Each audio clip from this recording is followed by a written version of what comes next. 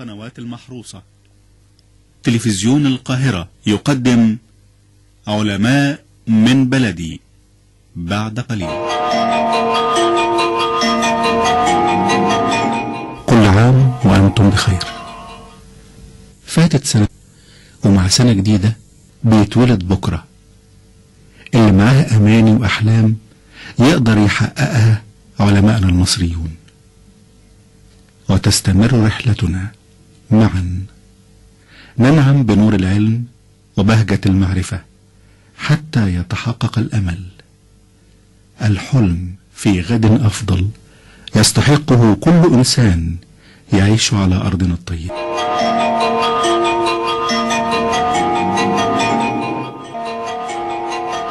علماء من بلدي عام جديد على شاشة القاهرة.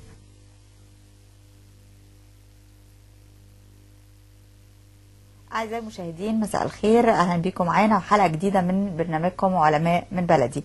حلقتنا النهاردة أعزائي المشاهدين هنلتقي فيها مع واحد من علمائنا المتميزين في مجال الإنتاج الزراعي. آه، بدأ رحلته العلمية آه، بحصوله على بكالوريوس العلوم الزراعية تخصص بساتين آه، جامعة الزقازيق في عام 79 حصل بعدها على الدكتوراه. آه، معانا النهارده ضيفنا أعزائي المشاهدين آه، أستاذ دكتور أبو الفتوح محمد عبد الله يوسف الأستاذ الباحث رئيس قسم تكنولوجيا الحاصلات البستانية السابق بالمركز القومي للبحوث. معاكم أعزائي المشاهدين هنلتقي مع آه، أستاذ دكتور أبو الفتوح محمد عبد الله يوسف ولكن بعد الفاصل.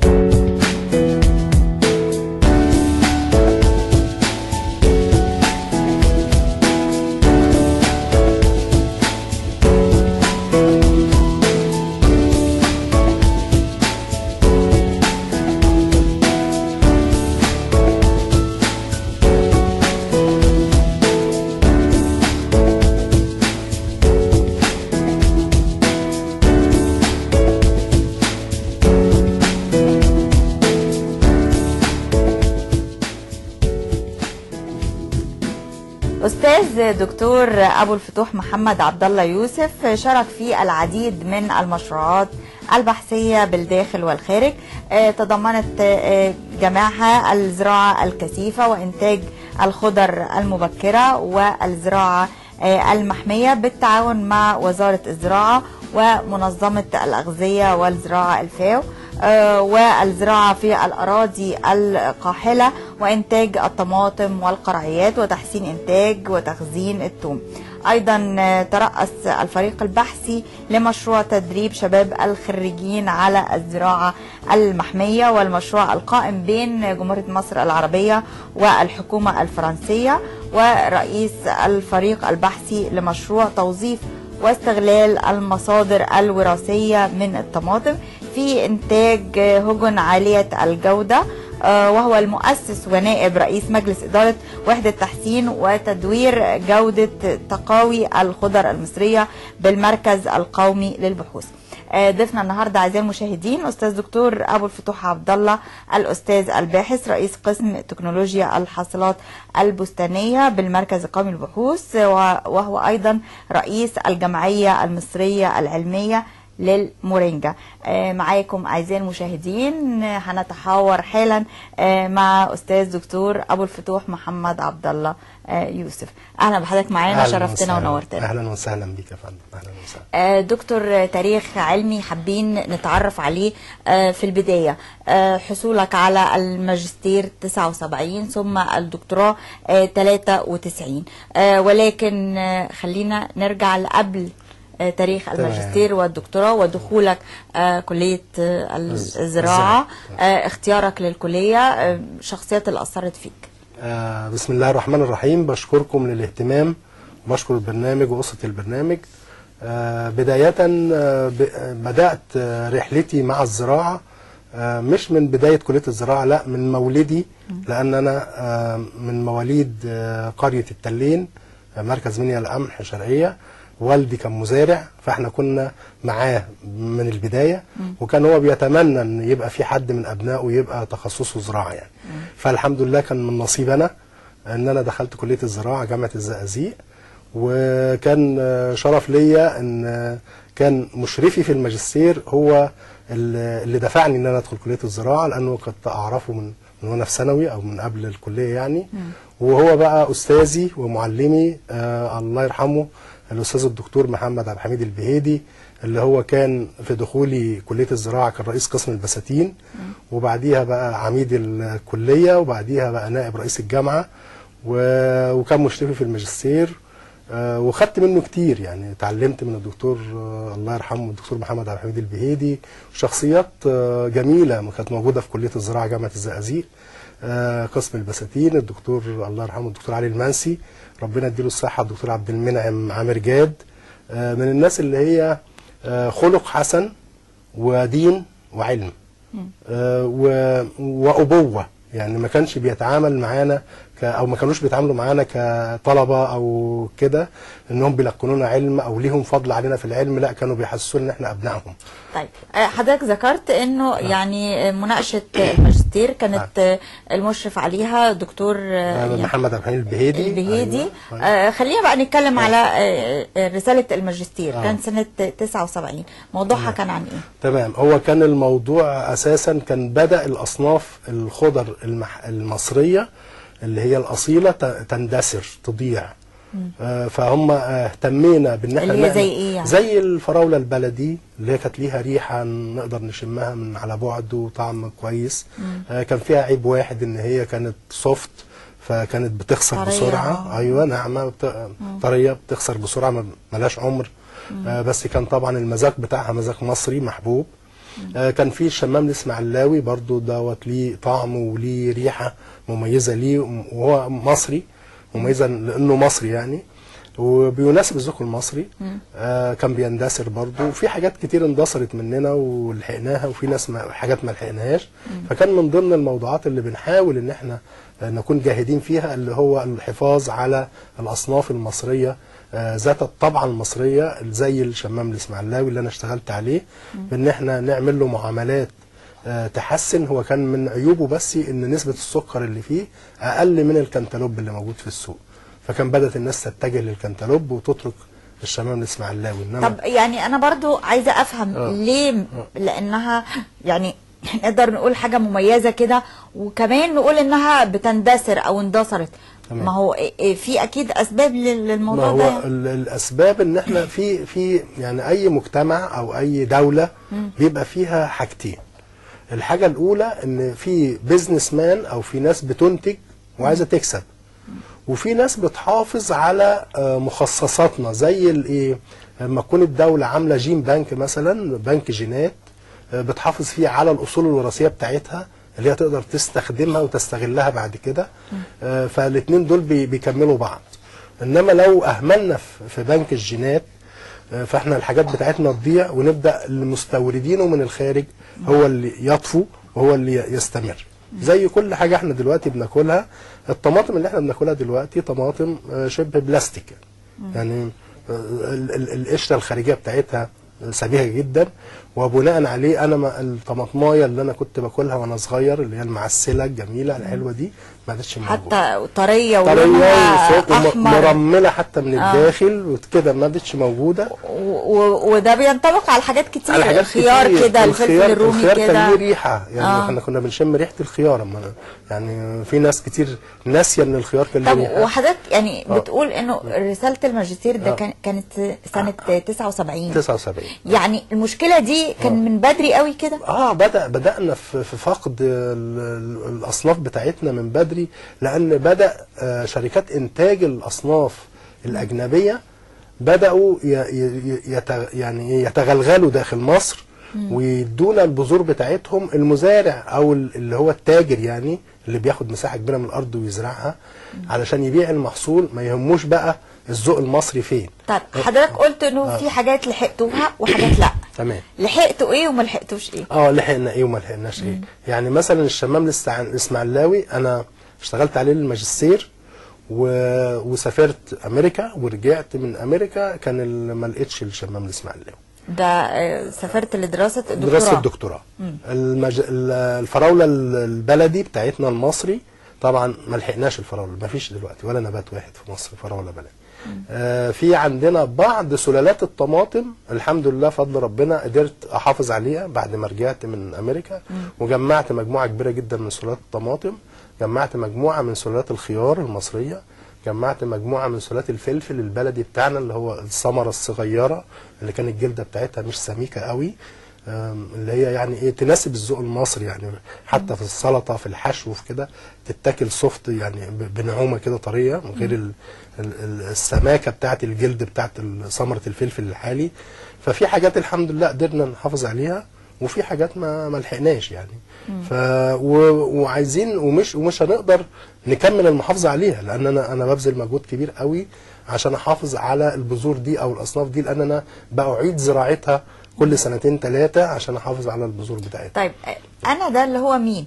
يعني حضرتك بتحافظ عليها عن طريق إيه وإزاي تقدر وازاي آه، نلاقي حد يساعد حضرتك. تمام. إحنا عندنا في المركز القومي للبحوث زي ما قلت لحضرتك إن في عند عاملين وحدة اسمها وحدة إنتاج تقاوي الخضر آه، دي الوحدة اللي بتساعدنا إن إحنا من خلالها كفريق بحثي أنا وتلامذتي يعني إن إحنا نكتر البذور دي كل ثلاث سنين أو أربع سنين نجددها يعني مش نكترها بحيث إنها ما تندثرش مننا. في عندنا الحمد لله بدأ في الدولة في حاجة اسمها جيم بانك بتاع الزراعة اللي هو في الدقي. آه، دوت بدأ يحافظ على بعض السلالات اللي هو بيجمعها على مستوى الجمهورية. فالاداره اللي هي بتاعة التقاوي المفروض إن يكون عندها خطة قصيرة الأمد وطويلة الأمد بالنسبة للمحافظة على السلالات المصرية والسلالات اللي بتناسب الذوق المصري. فلابد من تفعيل دي بجد. يعني هي موجود البنك الجينات وموجود في الفند بتاعه الميزانيات بتاعته وموجود في السلالات بتاعته. بس هو لازم يكون في خطة قصيرة وطويلة طب للمحافظه على هو. الموضوع خاص بالذوق المصري ولا في مزايا كمان لإنتاج ال- آه، السلالات دي؟ تمام. آه، وهل نقدر إن إحنا نتكلم على تصدير آه، كمان السلالات دي؟ يعني آه، ممكن تبقى آه، حاجة مربحة كمان بالنسبة لنا. تمام. هو أنا لو عندي آه، فراولة البلدي بتاعتي ما اندثرتش من عندي هلاقي نسبة السكر اللي فيها أعلى من أي صنف موجود حاليا. أنا أقدر أستغل الصفه السكر الزيادة دي في إن أنا أنقلها للأصناف الحالية. يبقى أنا عندي صنف اللي هو بيحافظ على الشيلف لايف أو ال- ال- مدة العرض بتاعته أطول آه، ونسبة السكر أعلى. فانا أقدر أستغل أصناف أنا مش مجرد للذوق المصري. لا ممكن أستغلها في إن أنا آخد منها صفات أنقلها لبعض المحاصيل أو الأصناف اللي فيها مواصفات عالية كتير. طيب. آه نتكلم بقى على دراسة آه، الدكتوراه. حضرتك آه، سافرت آه، أمريكا قعدت. قد إيه؟ آه، يعني كان موضوع هناك عن إيه؟ هل الاختيار خاص برضو بمنتجات وحاصلات آه، ليها دعوة بالولايات المتحدة الأمريكية ولا حاجة من مصر واشتغلت عليه؟ لا هو ال- الشغل كانت منحة من منظمة الأغذية والزراعة وكانت في جامعة ديفيز كاليفورنيا. وكان في إشراف مشترك بين أنا كنت مسجل في كلية الزراعة جامعة عين شمس مع أستاذي برضو الدكتور عادل البلتاجي والدكتور أيمن أبو حديد كانوا المشرفين بتوعي. وسافرت مع أستاذي برضو اسمه الدكتور ريك جونز من ديفيز كاليفورنيا. وده كان بيعتبر ال- ال plant breeder أو المربي نبات نمرة اتنين في الطماطم بالنسبة لجامعة ديفيز. وجامعة ديفيز دي نمرة واحد في الزراعة في العالم يعني. فهو كان نمرة اتنين في تربية الطماطم. فاحنا آه، آه، فكرنا ان إحنا نزود خبرتنا هنا في مصر بان يبقى في واحد مننا موجود مع ريك جونز يتعلم إزاي برامج تربية ال- الاصناف والهجن بتاعة الطماطم. آه، بس ما كانتش الطماطم متاحة أو المنحة نفسها مدتها ما كانتش هتكفي ان أنا اتعلم البرنامج كامل هناك. فاشتغلنا على إنتاج بذور الخيار.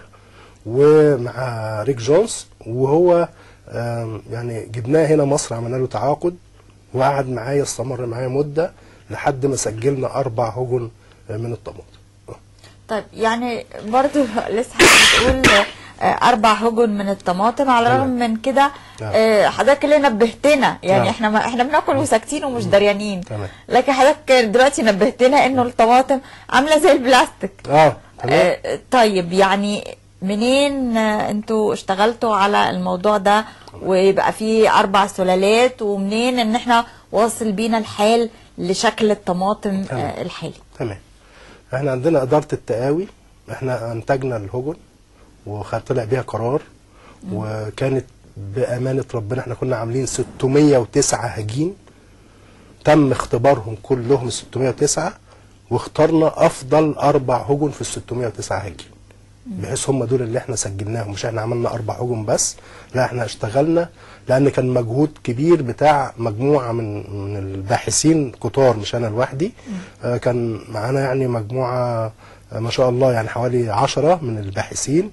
آه، الدكتور سيد محمود الدكتور محمد صالح الدكتور مجدي الله يرحمه الدكتور سا- سامي الدكتور أيمن أبو حديد. مجموعة كبيرة قوي كنا شغالين كفريق بحثي لإنتاج الهجن دي. بعد ما انتجنا الهجن 609 انتخبنا منهم الأربع هجن اللي هم طلع بيهم التسجيل. بعد ما سجلناهم آه عملنا بقى آه نحاول نعمل عملية نشر للهجن دي في مصر وعملنا شتلات كتير قوي حوالي 60 ألف شتلة أو حاجة وبدأنا نوزعهم في مصر. لقينا المزارع ما بياخد الشتلة ببلاش ما بيزرعهاش. ما بيهتمش بيها يعني وما بيزرعهاش. آسف جدا. آه فبدأنا خلاص سكتنا. يعني ما بقاش في إيدنا حل خالص. لأن إدارة التقاوى عندنا لما بيجي لها هجين مستورد من الخارج آه بيتم تسجيله. إما بيطلع عجين من فرد مصري لازم يتزرع سنتين ويتجرب ثلاث سنين وبعدين في الآخر يا آه يا لأ. فإحنا لازم يكون في عندنا برضو قرارات ملزمة آه، ومساعدات من الدولة لتسجيل الهجن المصرية مش لاستيراد ال- الأصناف الخارجية.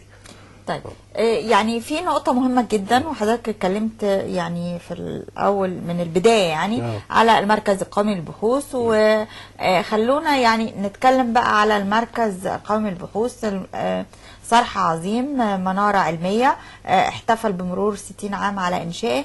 آه، نشوف فقرة من الاحتفال وبعدين نتكلم بقى على آه، المكان. آه، المركز القومي للبحوث إيه اللي قدمه للدكتور وكمان دكتور آه، قدم إيه للمركز القومي للبحوث.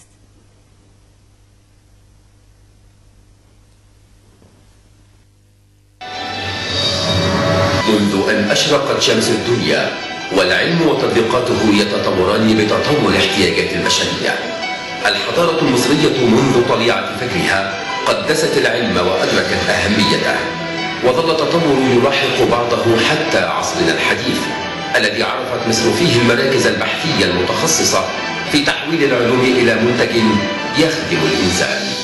قيمة اهتمام الدولة وتشجيعها للبحث العلمي إحساس الدولة ويقينها أن هو الرائدة ال- ال- ال- الدعامة الحقيقية لأي تنمية اقتصادية.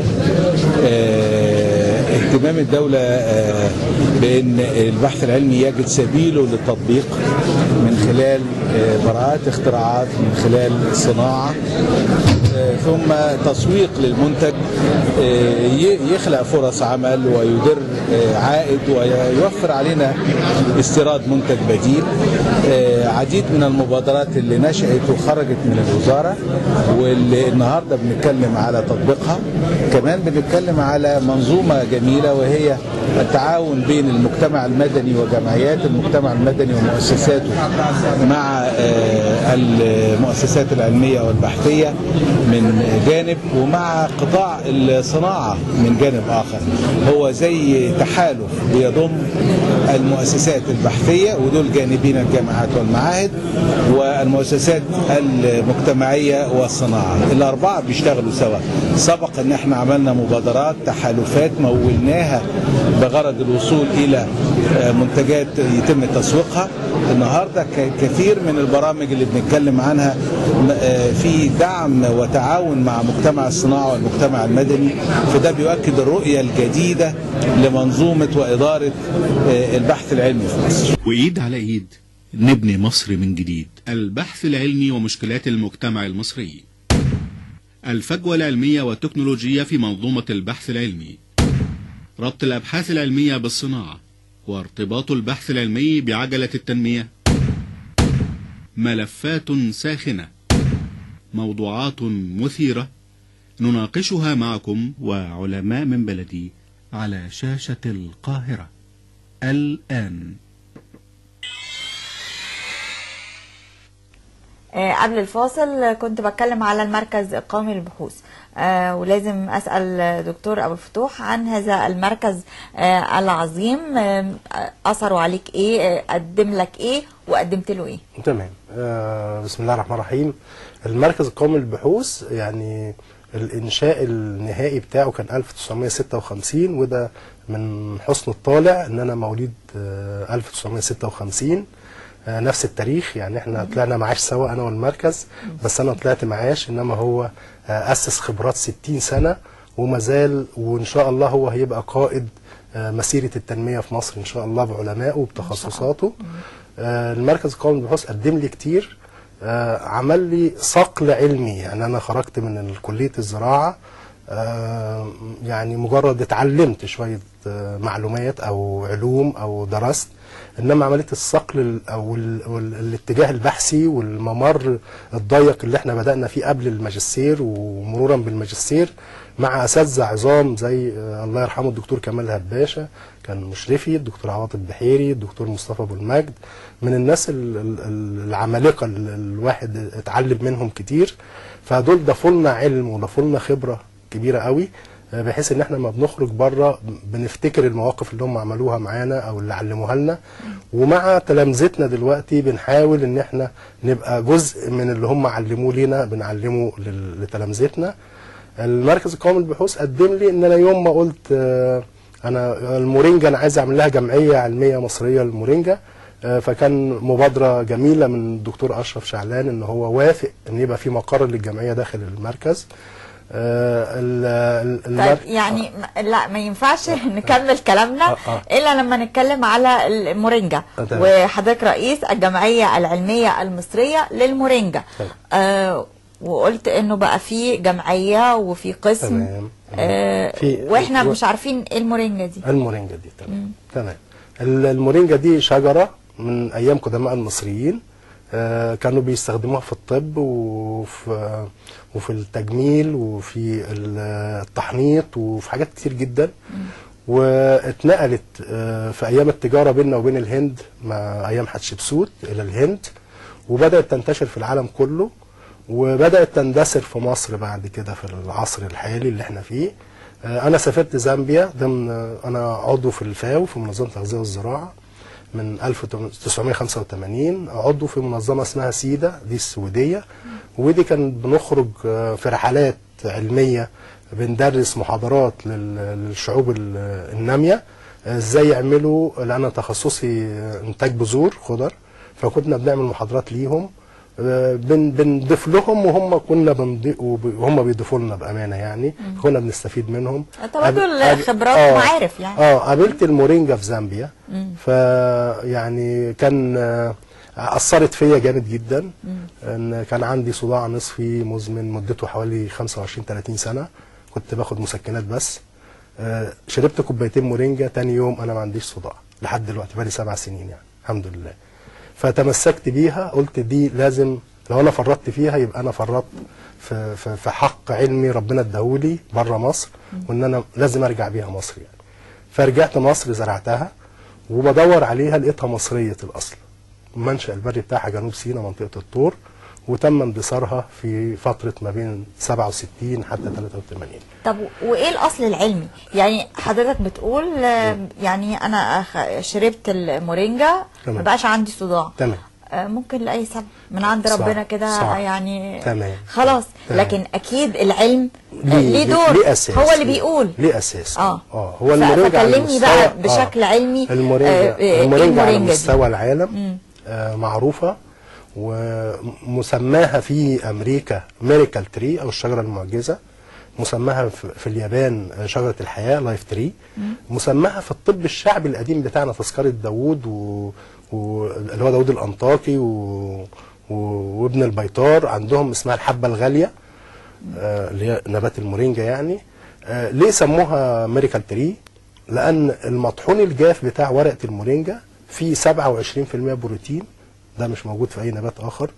آه، فيه سبع أضعاف فيتامين C اللي موجود في البرتقال وده طبعا مضاد للأكسدة ممتاز جدا. في فيتامين A بتاع النظر أربع مرات قد اللي في الجزر. في فيتامين E ثلاث مرات قد اللي في اللوز. في بوتاسيوم قد اللي في الموز ثلاث مرات اللي هو بتاع الذاكرة وتثبيت المعلومة والزهايمر. ده إيه النبات المعجزة ده؟ معجزة. آه. آه. وفي كالسيوم أربع مرات عشان ال- الهيكل العظمي وهشاشة العظام والغضاريف وكده. أربع مرات قد اللي في الحليب. آه، فأنا آه، وفي 46 مضاد للأكسدة. في حاجات كتير قوي اللي خلوه اللي خلاها تتسمى الشجرة المعجزة واللي خلاني اتمسك بيها إن أنا أجيبها معايا مصر. لما لقيت الجداول بتاعت التحليل دي بتتعرض قدامي في محاضرة فما كانش إحنا برضو عارضينها اهي دلوقتي ده الجدول تمام ده آه ده بتتكلم عليها. الجدول. أيوه ده الجدول اللي بيقول إن ورقة المورينجا اللي على الشمال دي بتساوي كذا بتساوي سبع أضعاف وده تشارت آه، أجنبي مش مش إحنا اللي عاملينه. يعني هو على مستوى العالم. طب حضرتك أي- جبت بذور آه، لشجرة جبت بذور بس مش مش جبت بالكمية اللي هي تناسب إن إحنا نزرع مصر يعني. إنما أنا آه. جيت لقيت الحمد لله هنا في مصر حد قال لي ده في ثمان شجرات واحدة في الأرمان واحدة في محطوط عليها حتة ألمونيا كده مكتوبه مورينجا بس ما حدش يعرف دي إيه؟ آه، في جنينة الحيوانات في كلية العلوم جامعة القاهرة في معهد بحوث الصحراء كل واحدة من دول شجرة معروفة إن دي شجرة مورينجا بس هي بتعمل إيه؟ ما حدش يعرف حاجة فالحمد لله كان بس كويس إن هم الفضل- كانوا عارفين يعني عارفين إن دي شجرة مورينجا. آه. آه بقى فضل ربنا عليا إن أنا أصريت وبحثت ودورت. آه. بدأت البحث من سنة كام؟ 2010 كان عندنا 8 شجرات إحنا عندنا دلوقتي فوق المليون شجرة في مصر. مليون شجرة؟ عندنا فوق يعني المية- حضرتك جبت بقى بذور بتاع الشجر ده اللي هو آه. عندنا في مصر ها؟ وكترت منه لأن الشجرة الواحدة بتنتج في السنة ما لا يقل عن 45 ألف بذرة. فلو عندي شجرة أنا ممكن أزرع منها 45 ألف شجرة في السنة. يعني الثمان شجرات دول برضو استخدمت منهم بذور آه بذور. طبعا طبعا آه آه. آه, خدنا منهم بذور. وفارق بقى يعني البذور بتاعتنا أو أشجارنا آه. آه عن آه، بقية الأشجار هو هو إحنا العالم. عملنا تحليلات للمنتج بتاعنا لقينا عندنا مركبات كتير قوي في المنتج اللي عندنا في مصر إن الشجرة منشأها البري مصر. أو الظروف المناخية بتاعتها اللي هي أنشأت فيها هو مصر. فلقينا مركبات كتير قوي غذائية من اللي في الورقة إحنا أعلى من التحليلات العالمية الخارجية المنتج اللي عندنا هنا في مصر. طيب فحضرتك جبت البذور آه، وحب- وزرعنا. آه، وقدرت تكتر زرعنا. وعملنا عملنا آه. حاجة اسمها الجمعية العلمية المصرية للمورينجا اللي إحنا كنا لسه بصدد الحديث عنها. دي مشهرة تبع آه، وزارة التضامن الاجتماعي من 2012 آه، فيها دلوقتي مش أقل من حوالي 180 عضو أو 200 عضو. دولت مهتمين بزراعة المورينجا. آه، عندنا حوالي 85 باحث داخلين أعضاء في الجمعية.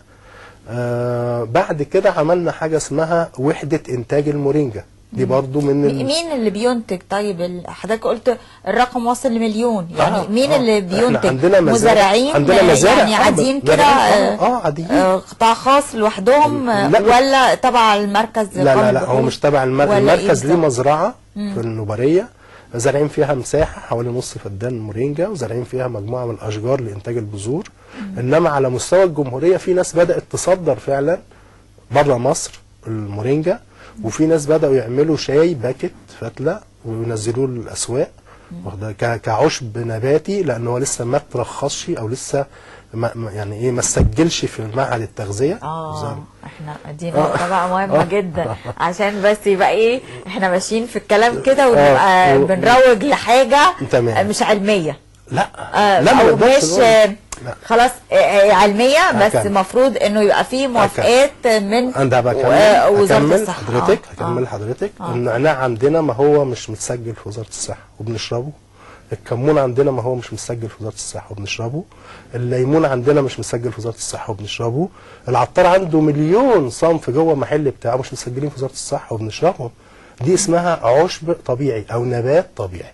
إنما م- م- يوم ما نقول إنه مكمل غذائي يوم ما نقول إنه مكمل غذائي لازم نقول ما ينزلش وما يستخدمش إلا لما آخد ترخيص من وزارة الصحة. آه إنما لو قلت يعني لو لو حضرتك مثلا آه، جت شركة وحطته في كبسول أيوة. آه، ده يبقى لا لازم لا وزارة لو الصحة لو اداهولي وقالوا لي ده مكمل غذائي أو دواء يبقى لازم وزارة الصحة وإدارة الصيدلة يبقى يا إما يسجلوه دواء يا إما يسجلوه مكمل لكن أنا. أجيبه بقى كعشب من نباتي زي. ماركت من عطار زي. عشب براحتي آه، يبقى خلاص نبات آه ما هو زي النعناع زي الليمون زي الجنزبيل زي زي البردقوش زي كل ده ما هي كل الحاجات دي مش مسجله آه. بس هو إحنا ولكن العلماء برضو ال- درسوا الأعشاب ديت تمام. يعني مش كده آه، يعني مش هبهزر. وصفات آه، تمام. لا آه، العلماء برضو آه،. ذاكروا واشتغلوا. على الموضوع العلماء بتوعنا في مصر من آه. أيام قدماء المصريين وهم مذاكرين المورينجا. والعلماء بتوع العالم كله مذاكرين المورينجا وأنا في المركز القومي للبحوث بقى لي سبع سنين. أنا مناقش لحد دلوقتي ثمان رسائل ماجستير ودكتوراه طلبة بتوعي وطلبة مش بتوعي في الجامعات المصرية. طب نشوف مع بعض تقرير تمام. عن الموضوع ده عن نبات المورينجا والعلماء آه، اللي سجلوا ودرسوا. تمام فندم. آه تمام طيب. نشوف مع بعض. الحبة الغالية المورينجا. المورينجا دي كانت أساسا مزروعة في طور في سينا من أيام قدماء المصريين وبعدين خدوها الهنود وابتدوا يزرعوها ونشروها على مستوى العالم وبتستخدم في على نطاقات كبيرة جدا بتستخدم في كعلاج تستخدم كالبقايا بتاعتها. إحنا إحنا كعلماء في في الإنتاج الحيواني بنستخدم المخلفات بتاعتها في تغذية الحيوان. ممكن إنها تحسن من أداء الإنتاج للحيوان بتحسن معاملات الهضم بنضيفها بنسب بسيطة جدا من المخلفات بتاعتها بحيث إنها بتخلي القناة الهضمية بتاعت الحيوانات المقترة بتزداد وتخلي نشاطها يزيد ومعدلات النمو بترتفع. وبتزود معدلات إنتاج الألبان في الحيوانات المدره للبن إحنا دلوقتي بنبحث عن الطاقات المتجددة. الطاقات المتجددة دي بتتمثل في المحاصيل الزيتية اللي إحنا ممكن نعمل منها ال bio fuel زي الجتروفا وزي ال- الهوهوبا ومحاصيل أخرى. الجتروفا من المحاصيل الواعدة في آه، آه، الطاقة وخصوصا إن احتياجاتها ال- المائية مش عايزة ال- المياه ال- النقية. يعني ممكن ناخد المياه المالحة أو ال brackish water في في تنميتها نبات نبات ربنا خلقه ينمو طبيعيا له مميزات آه، علاجية وغذائية يعني اللي عندهم فقر دم ياكلوا مورينجا اللي عندهم بعض. الغازات والالتهابات ياخدوا المورينجا فدي كانت نقطة الانطلاق إن إحنا بقينا بنتعاون في العلم لخدمة المجتمع المصري وخاصة المناطق الريفية التي تحتاج كثير من العمل والبحث العلمي قدم ولكن مش ما البحث العلمي لم يطبق على المستوى التطبيقي جوه جهات ال- ال- المستفيدة. بذورها اللي ما بياكلهاش حد. أنا نقيت بها المية. خشبها اللي ما حدش عايزه بيستخدم له استخدامات أخرى. اذا هي شجرة أو نب نبات مفيد من البداية إلى النهاية. ما فيش فيه جزء مفقود. حتى قرن ال- البذرة له قلف. غذاء جيد جدا للحيوان. يعني فلقينا كل الم- المميزات فيه.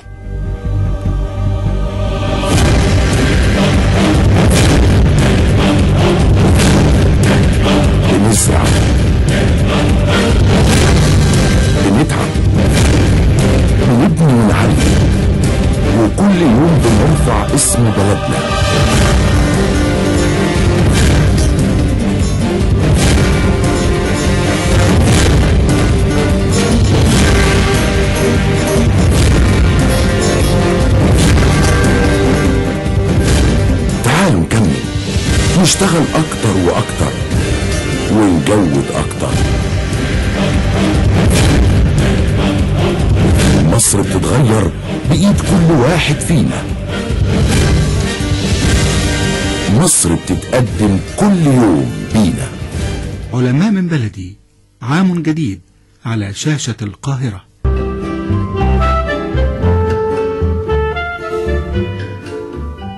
الشجرة المعجزة صديقة الأم صديقة الفقراء آه كمان آه، زي ما قال دكتور اسمها الحبة الغالية المورينجا. يعني إحنا آه، سامعين دلوقتي فعلا إنها شجرة معجزة. آه يعني الجمعية. قدمت إيه.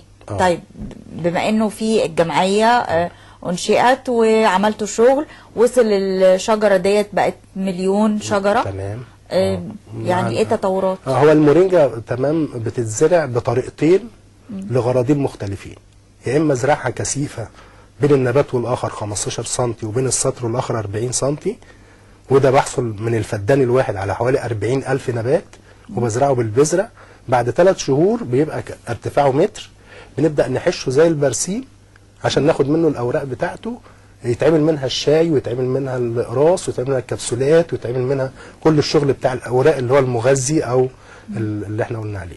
آه وبقية ال- النبات نفسه الاغصان بتاعته دي بتستخدم أعلاف للمواشي بتزيد من إنتاج الحليب في المواشي بنسبة 30% حليب بتزيد من إنتاج اللحم بنسبة 45% عن الأعلاف العادية. بالإضافة إلى ذلك متسمية الريزر بتاع العناصر الثقيله أو الأستيكة بتاع العناصر الثقيله فبتمسح لي كل العناصر الثقيله اللي حصل بيها بسببها تلوث في جسم الحيوان. تالت حاجة إنها من ضمن ال- المضادات الأكسدة العالية اللي فيها والفيتامينز وكده بتقلل لي عملية استخدام المزارع آه للمواشي بتاعته عملية التحصينات والأدوية اللي هو بيديها ما بيبقاش محتاج يديها قوي طب زراعتها مكلفة يا دكتور ما نهائي. آه يعني نهائي. نقول بما إنه فيها كل هذه الفوائد تمام. يبقى سهل أو آه زراعتها، آه. المفروض إن إحنا نعمل كده ونتجه ربنا لزراعتها ربنا سبحانه وتعالى يسرها وبعدين ده هي كمان ده بتتحمل الجفاف بتتحمل الحرارة غير محبة للمية يعني عايزه كلمة مية قليلة. المياه المالحة ممكن تزرع فيها عادي. يعني فين الأماكن؟ يعني البيئة الزراعية ممكن تبقى موجودة إحنا آه فين؟ شايفين آه حتى يعني تبقى نصيحة. آه من أسبوعين. ال- إحنا كنا في ندوة مع الدكتور عادل بلتاجي عن المليون ونص فدان. وتم إدخال ضمن التركيب المحصولي المليون ونص فدان دخلنا نبات المورينجا كمان هيزرع في المناطق اللي فيها ندرة في المية والمناطق اللي هي الصحراوية زي آه، مناطق ال- الوادي الجديد والضبعة والظهير الصحراوي للمنيا. دخلنا مساحات من التركيب المحصولي يبقى مزروعة بالمورينجا لأن المورينجا مش مش محتاجة ميه كتير مش محتاجة ميه الجوده بتاعتها عالية. آه ال- الفايدة الاقتصادية بتاعتها عالية. لدرجة إن منظمة الأغذية والزراعة والفاو كانوا بيساعدوا الدول الفقيرة في, في وسط إفريقيا آه اللي هو عندهم مجاعات بالمال.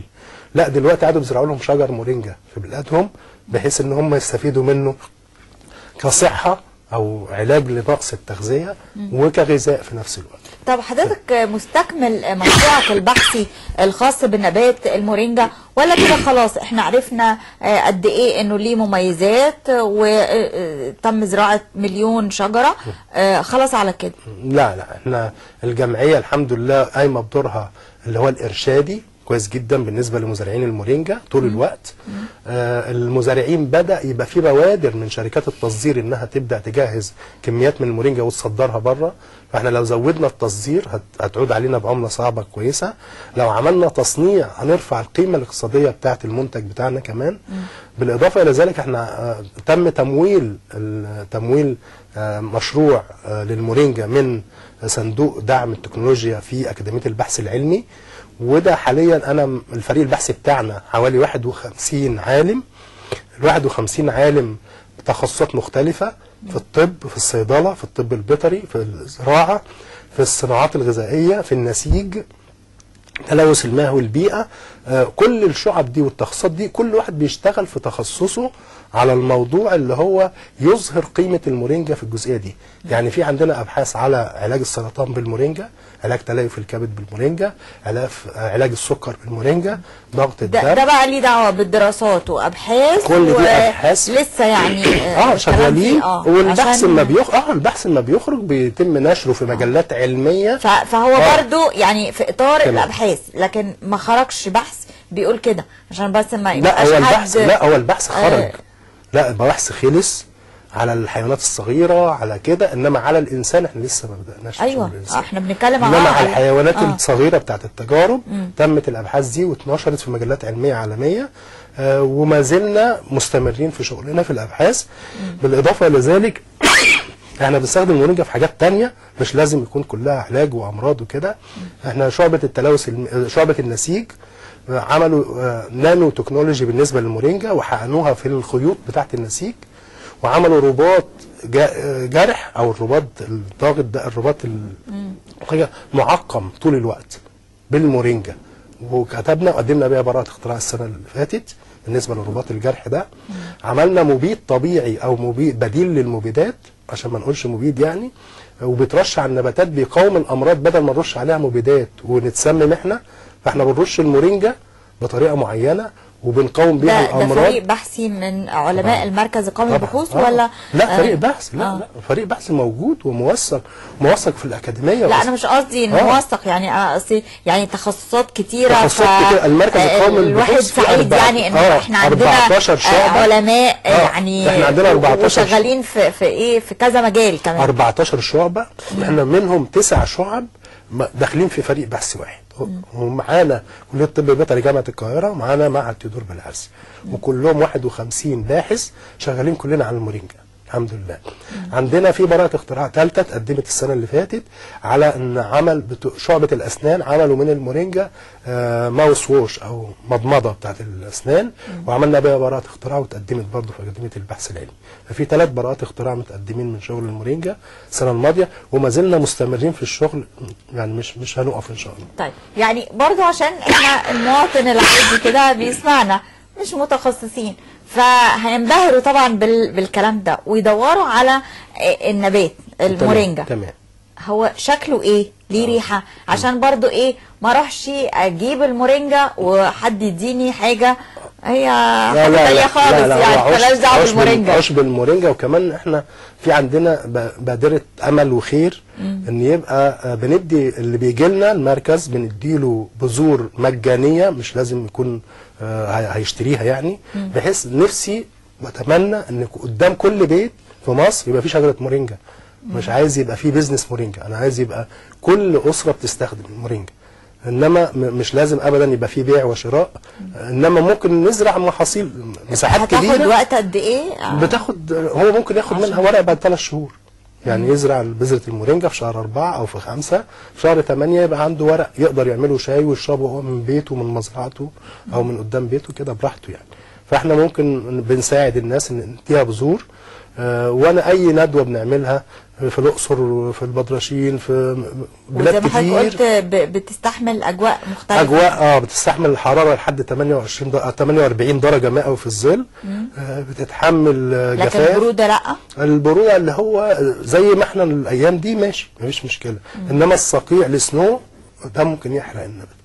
النباتات وده مش عندنا في لأ مصر. مش الصقيع بس آه. مثلا المناطق اللي هي الزراعية في الساحل الشمالي برج العرب اسكندرية وكنز والساحل الشمالي ناس كتير زرعت. الحتة دي يعني فيها زراعات كتير لحد يعني. مرسى مطروح زارعين المورينجا لحد أسوان زارعين المورينجا أنا وديت شتلات في حلايب وشلاتين ووديت في جنوب سيناء. وعندنا المشروع بتاعنا على فكرة ده مسماه تعمير سيناء بنباتات المورينجا طيب ده ده اللي هياخد بذور لكن أنا قصدي اللي هيجيب كده ال- العشب ده أو النبات العشب أو المورينجا. النبات. ليه شكل أو ري- ريحة مميزة هو بيبقى ليه هو ريحة ولا هو, لأ؟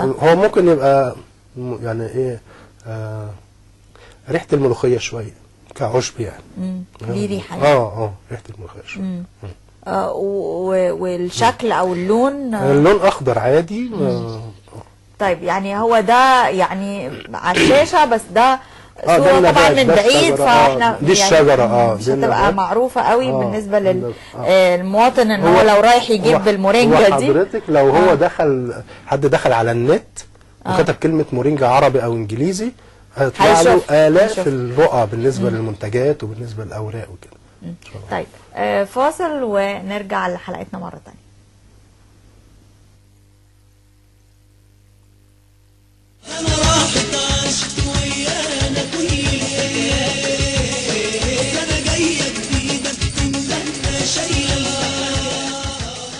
يسعدني إن أنا أهني كل المصريين بالعام الجديد محمد فهمي طلبة نقيب العلميين. أحب إن أنا أقول لمصر كلها من كبار علمائها لصغار أولادها كل سنة وأنتم طيبين. المصريين يجمعنا الوطن. بحث واحد فاد الدنيا كلها الناس هتفتكره طول عمرها. إحنا عايزين نطلع أبحاث إحنا اللي نستفيد بيها ونطبقها فعلا على الفيلد نطبقها فعلا عمليا. العلمي آه، ليس طرفا ولكننا لا نتحمل طرف ألا نأخذ بالبحث العلمي. ثقافة العلم الحقيقة حاجة من الحاجات اللي بتنقصنا في حياتنا اليومية. الدقة والمهنية في العمل والاهتمام بالعمل الجودة في العمل. ده موجود المفروض يكون موجود مش بس في العلم وإنما موجود في جميع نواحي الحياة الأخرى. والإعلام عليه دور كبير جدا في توصيل هذه الرسالة إلى المجتمع. وتستمر رحلتنا معا. ننعم بنور العلم وبهجة المعرفة. حتى يتحقق الأمل. الحلم في غد أفضل. يستحقه كل إنسان يعيش على أرضنا الطيبة. علماء الثلاثاء وعالم جديد ينضم إلى منظومة علماء من بلدي. موعدكم الثلاثاء على شاشة القاهرة. دكتور آه، أبو الفتوح آه، يمكن اشتغل في مشواره آه، البحثي والعلمي على أكتر من محصول. اتكلمنا على الطماطم اتكلمنا على المورينجا آه، والحقيقة يعني في حاجة آه، برضو عايزين نعرفها حتى ولو بشكل سريع. سن سن الفيل. آه, آه توم الفيل. توم الفيل؟ توم الفيل. إيه توم آه، الفيل توم ده؟ الفيل. إحنا عندنا أنا كنت من ضمن رحلاتي أو سفريات يعني الحمد لله سافرت كتير آه. فكانت آه الرحلة بتاعت أمريكا. آه كانت متقطعة من 84 لحد 93 آه الحمد لله آه قابلني فيها آه نبات توم حاطين راس التوم الواحدة في علبة بلاستيك زي علب لعب الأطفال كده ومعلقينهم فانا اتبهرت يعني آه، صوب محل كبير بتاع الناس اللي هم ال- الهاي يعني مش مش الناس العاديين يعني اسمه لاكي فانا كنت بدخل اتفرج فيه بس ما كنتش بشتري يعني. فما اشتريتش منه غير هو توم الفيل ده يعني اشتريت منه راس توم أربع فصوص ب 4 دولار أيام كان سنة 90 يعني. فأنا فزميلي قال لي كان من جامعة الأزهر قال لي لا هو نعمل بيه إيه ده؟ إحنا بنشتري ال pound التوم ب 2 دولار. انت تجيب أربع فصوص ب 4 دولار فقلت له لا أنا عايزهم أنا عارف أنا هعمل بيهم إيه يعني. فجبتهم وجيت مصر هنا زرعتهم طلع منهم نباتين سنة 90 بقى راسين توم بدل الراس التوم اللي أنا كنت جايبها. استمريت في الاكثار بتاع الفصين التوم دول حتى 2000 توم الفيل توم الفيل حتى آه. سنة 2000 آه. أنا عندي حوالي 10 طن توم فيل في مصر. وده يمكن أول مرة كام دولار دول بقى. بفضل ربنا وزعت منهم على قد ما قدرت آه، ابتغاء مرضات وجه الله. لأن أنا ما صرفتش عليهم بأمانة من جيبي للإكسار. يعني أنا كل اللي جبته هم التوم. آه. وبعد كده كان بيساعدنا في مركز البحوث الزراعيه للإكسار في منطقة اسمها البوصيلي. فبقى عندنا كمية كبيرة منه حوالي 10 طن بدأنا نوزعهم على المزارعين. ومميزات توم الفيل إن هو آه الفص الواحد بيزن آه 24 فص من التوم البلدي يبقى أنا ممكن في الطبخة أستخدم يا فص آه يا عشان نص كده فهمت يعني عمال أقول مش آه. عارفه حتى أحفظ الاسم آه، يعني الفيل، آه. آه توم الفيل آه. يعني لأنه حجمه كبير حجمه كبير قد آه. 24 فص من التوم البلدي آه. نمرة اتنين إن هو لا ما بيزرعش وما بيفرغش. على مدى 4 14 شهر يعني لحد ما اطلع المحصول بتاع السنة الجاية وبعديه بشهرين مم. أنا ما زال عندي التوم بتاع السنة اللي فاتت سليم كويس يعني المصانع يعني لازم تستخدم مم- ممكن توم الفيل ده ممكن المصانع تعمل تجفيف وتعمل كذا من توم الفيل مم. إحنا بدأنا نشتغل عليه وكترناه وموجود دلوقتي في مزارع ناحية آه، اسكندرية مم. بس بتمنى إن إحنا يبقى في عندنا مساحات كبيرة أو مزارع كبيرة تقوم بزراعة توم الفيل لاستخدامه حتى في المصانع. يا ريت. يعني مش لازم آه. للبيوت يعني. يا ريت. آه. آه طبعا بنشكرك جدا دكتور أبو الفتوح على آه مسيرتك العلمية. بنشكرك جدا على وجودك معانا شرفتنا ونورتنا. متشكرين جدا إحنا بنشكرك يا فندم. أعزائي المشاهدين آه، بشكركم في النهاية وإلى اللقاء وحلقة جديدة من برنامجكم علماء من بلدي.